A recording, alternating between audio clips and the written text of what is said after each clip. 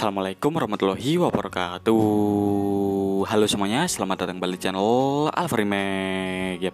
Oke nih, jadi kesempatan kali ini saya ingin tutorial tentang bagaimana cara untuk melihat transfer masuk atau keluar di aplikasi M-Banking BCA teman-teman ya Nah atau aplikasinya itu namanya BCA Mobile Kalau kalian sudah install dan sudah verifikasi Kalian bisa mengecek transfer masuk dan keluar uang kalian di aplikasi ini teman-teman ya Nah, caranya juga cukup simpel, tinggal kalian buka aja aplikasinya di sini. Nah, kalau kalian sudah verifikasi dan sudah membuat kode aksesnya, tinggal kalian masukin aja kode aksesnya.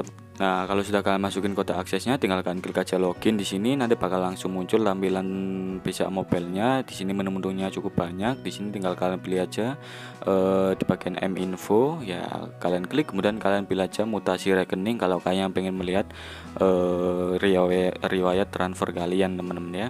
Tinggal kalian klik. Kemudian tinggal kalian tungguin ya teman-teman ya di sini. Nah di sini bakalan muncul nomor rekeningnya dan jenis transaksi yang bisa kalian pilih. Entah itu uang masuk uang keluar atau transfer care in care out juga. Nah di sini kalian hanya bisa uh, melihat periode mutasi yang dapat dipilih itu cuma tujuh hari ke belakang teman-teman ya. Nah, ini juga bisa untuk eh, uh, 30 hari kalau nggak salah ini. Kita coba aja ya. 30 hari ke belakang kita coba dan ternyata nggak bisa jadi e, periode mutasinya itu cuma tujuh hari teman-teman ya.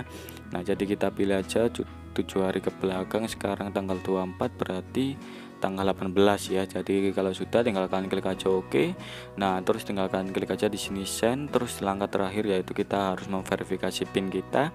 Nah di sini saya mau verifikasi dulu pin saya ya teman-teman ya Nah, kalau sudah kalian masukin pin kalian yang sebanyak 6 digit itu langsung aja klik OK. Nah, nanti bakal langsung muncul riwayat dari transfer kalian selama tujuh hari terakhir ya. Nah, di sini kalau yang merah itu uang keluar, kalau yang biru ini berarti uang masuk teman-teman ya. Nah, di sini ada beberapa informasinya ya. Ini juga ada biaya admin ya 7.500 ya. Lumayan lah BCA itu kalau motong ini 7.500 per bulan. Uh, Oke, okay, gitu aja sih untuk tutorial kali ini. Semoga tutorial kali ini bermanfaat dan seperti biasa nih teman-teman ya. Jangan lupa like, comment, dan subscribe. Bye.